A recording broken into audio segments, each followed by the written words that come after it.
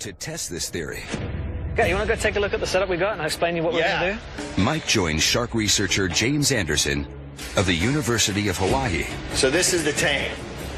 in an experiment to unlock how sharks use the magnetism of volcanic features as signposts. James has gathered some scalloped hammerheads. And then they are so cute when they're little. These sharks grow to about six feet. Their distinct head is full of sensory pores known as ampullae of Lorenzini. When we start the trial, we're going to ring the bell. Uh, James thinks sharks might be able to pick up and identify magnetic signals, like those found in lava rock. James has set up two targets. One emits a magnetic field. The other is a control with no signal. Let us go. If James' theory is correct, the sharks will detect the magnetic target. Yeah, let's see what this little shark's got.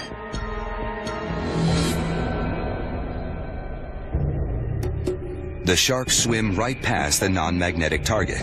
Yeah, bit of circling around. Yeah, Starting to circle. right over. Oh, and Oh, turn really yeah. fast turn. Okay, so. we see some tight turns. Yeah, it's really obvious how different it is over the magnet target versus the non-magnet. Right. It's finding that magnetic stimulus and, and recognizing that that's what it's looking for, even though this one over here looks just the same. It's only a small demonstration, but it's convincing. Sharks could be detecting and using volcanoes as magnetic beacons across all the oceans. We tested out this new shark deterrent called Sharkbanz. Sharkbanz use magnets to deter sharks by disrupting the shark's electrical receptors around their snout. We dropped the deterrent in one of the sharkiest hotspots on a baited camera station off the northwest coast of Australia. Here's the results.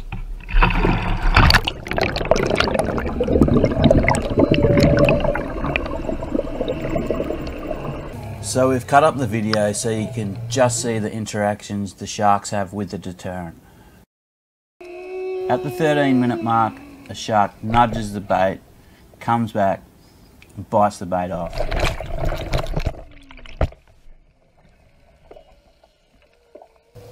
Then at the 15 minute mark, the shark returns, this time aiming at the shark band and biting it off.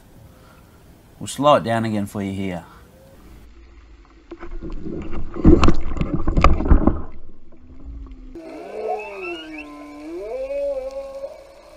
Then, at the 18 minute mark, the shark comes back and takes a final bit of bait off the camera station.